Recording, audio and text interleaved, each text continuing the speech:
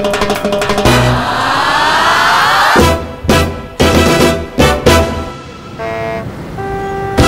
pare, baby, do the complex.